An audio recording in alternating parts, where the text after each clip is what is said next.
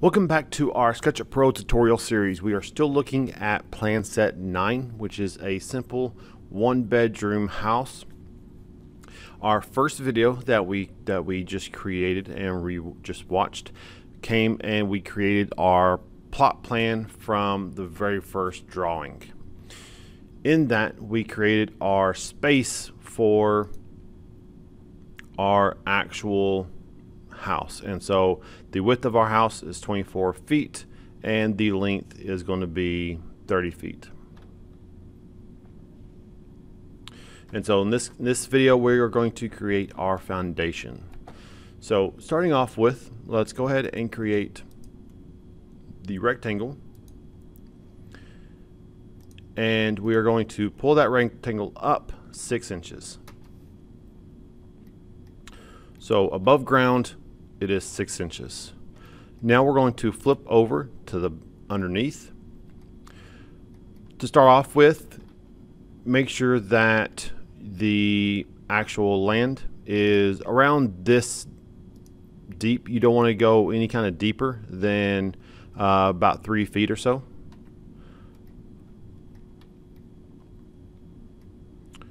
So our overall thickness of the concrete for the most part is three and a half inches. So I want to use my push pull tool and I want to push this down 2.5.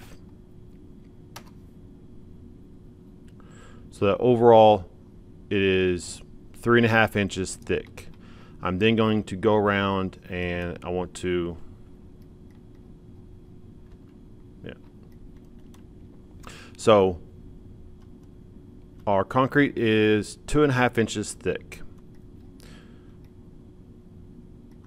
Next, we're going to take the offset tool and we're going to create our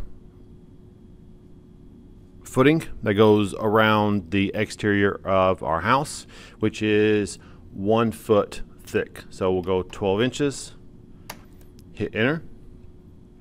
Then we're going to do the push pull tool and we want to go ahead and pull this up and it's going to, be one foot 2.5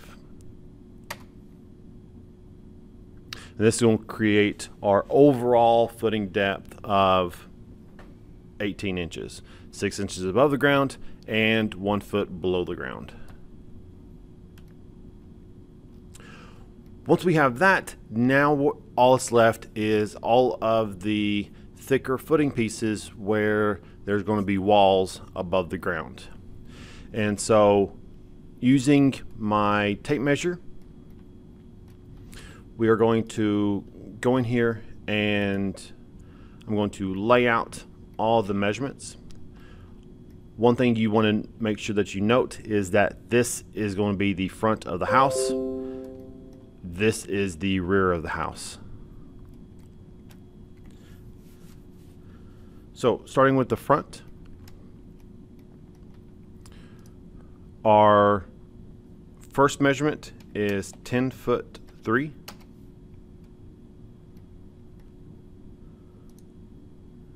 And then we'll go down from the front 13 foot 3 inches.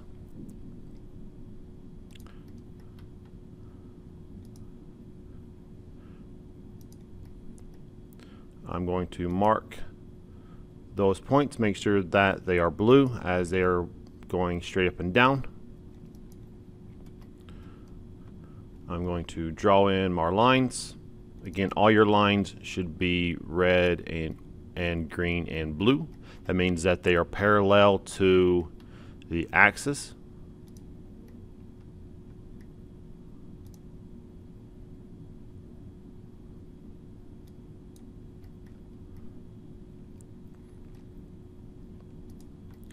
Our next measurement, I'm going from this line down 10 feet.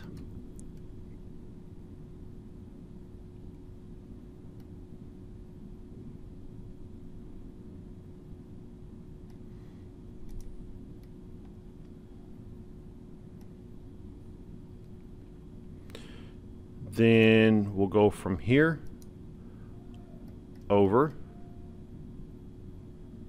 And this is the rear of the house. Six foot three.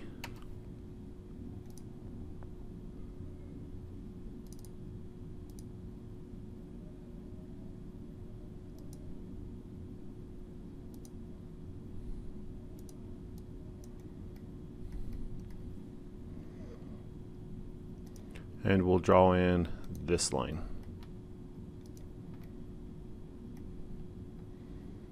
So again, this is the front of the house.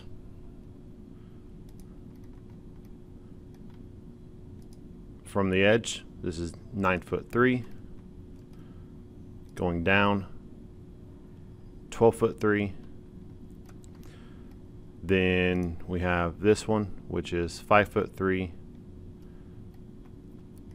and this one down here that is five foot nine.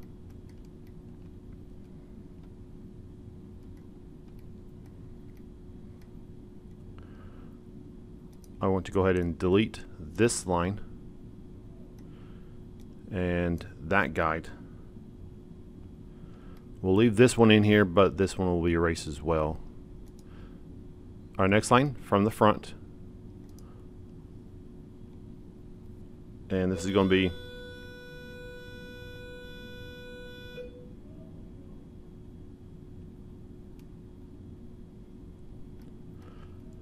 from the front we're going to go and create another guide that is 17 feet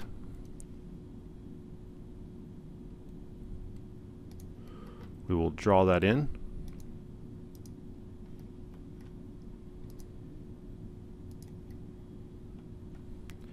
And we're going to draw it all the way across there.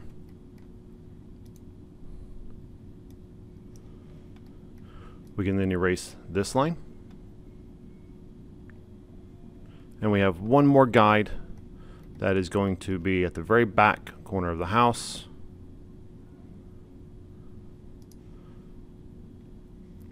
And we're going to go 10 foot 3.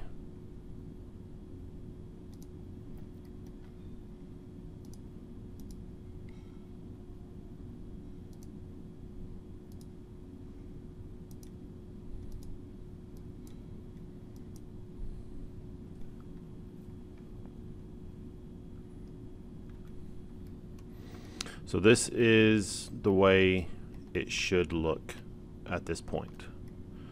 So our top of the house, our front, front door is right here.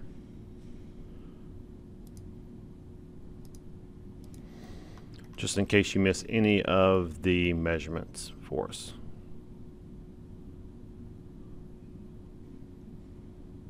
And then again, our ring around it is one foot thick. With that, let's go ahead and create the actual, the rest of our footings. So the, all of these are one foot thick in width.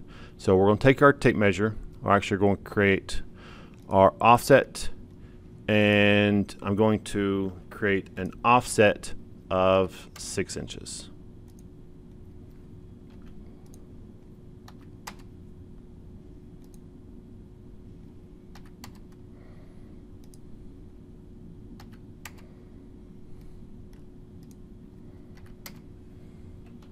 If you ever mess up, just hit Control Z.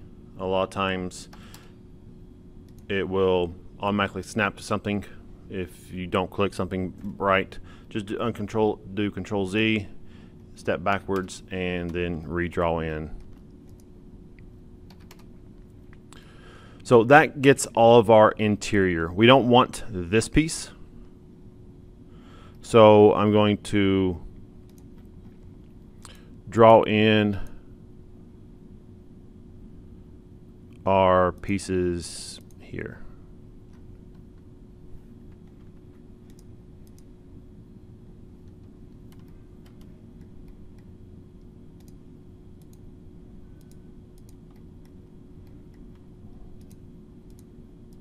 That way we can then erase our lines.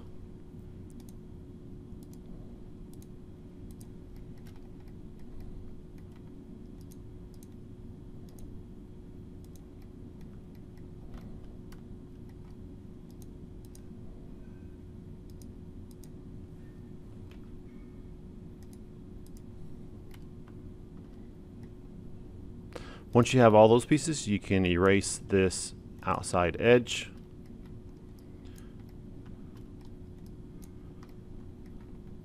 as we've already drawn in our footing.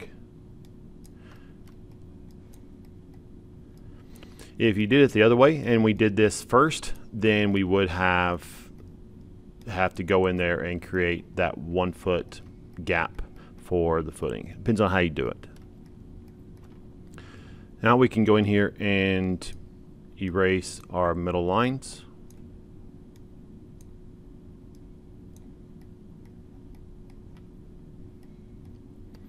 Use the push-pull tool. And the overall thickness of this from the very top is one foot. So with the top part of our concrete being three and a half inches, we want to pull this down or in the way it's oriented now, we're going to pull this up eight and a half inches. So 8.5.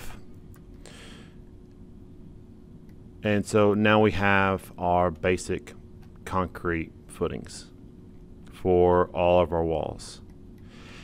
If we want to go and take this a step further, we can go in here and we can create the sides that this would be in. So it would go from at a diagonal. We're not really, we don't really matter or care about the how, if it's the same, eyeball it, get it close. Then you can use your push-pull tool and we can pull this out all the way across.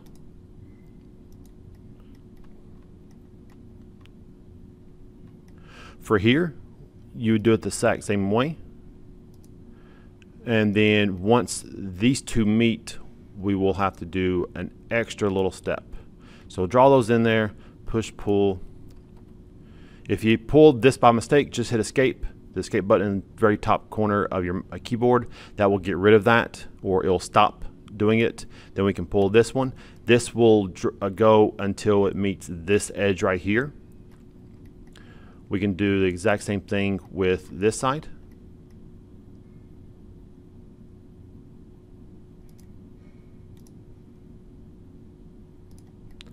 For this, all you need to do is take your line tool, go from this corner to this corner, and it will draw that piece in there. We can then erase that.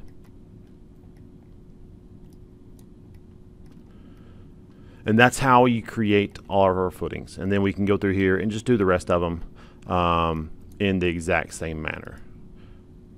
So I'll do a few more and then I will leave the rest up to you.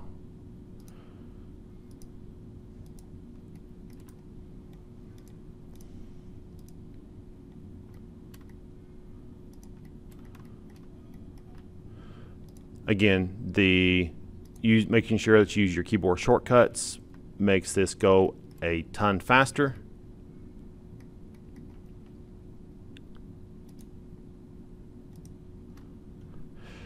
When you get in these search uh, situations, so I have both of these already drawn in, but that's going to be okay. We can simply just create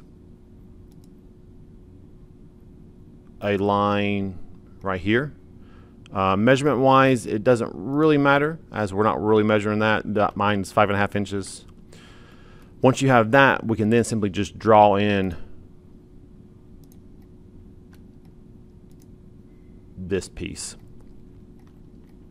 So that's another really quick, quick way to go about doing it if you have that part. Here, we can probably do something very, very similar.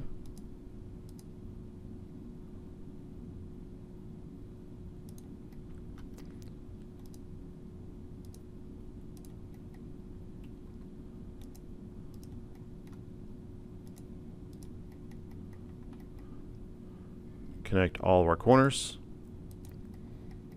That will create that piece.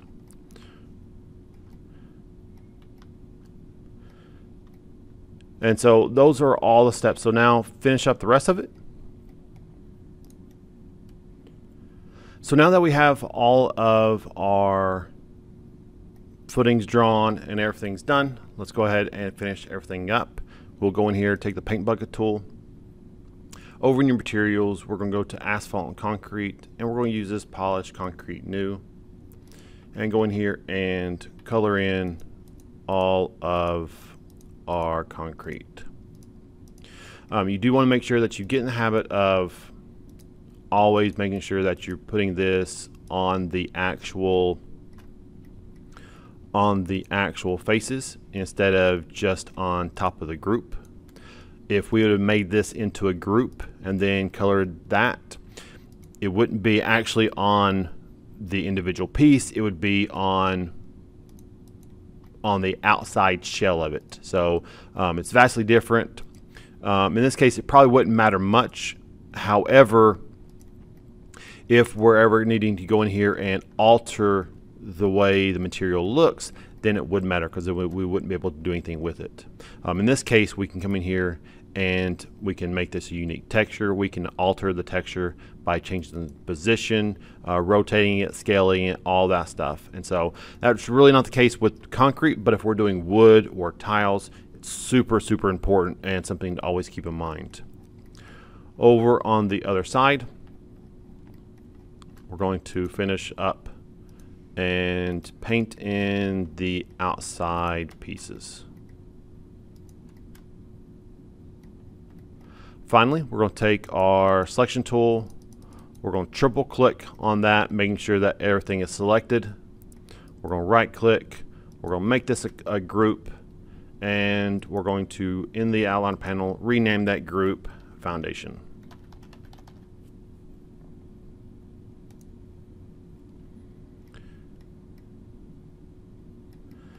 At this point, go in here and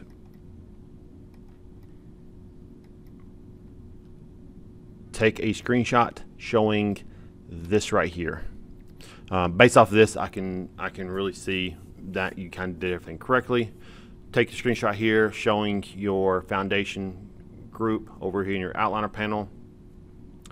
Um, and make sure that you save your project as something recognizable with your initials in it like we did before. Thank you for watching this second episode of our Plan Set 9. Stay tuned in our next video where we start laying out the actual walls.